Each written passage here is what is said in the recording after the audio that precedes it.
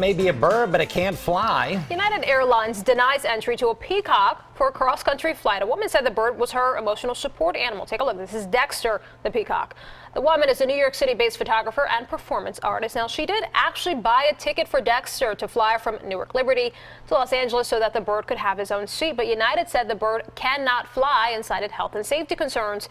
Instead, Dexter is being driven to his destination. Now, in a statement, United says the animal did not meet guidelines for a number of reasons, including its weight and size. They also say they explained this to the customer three times before they arrived at the airport.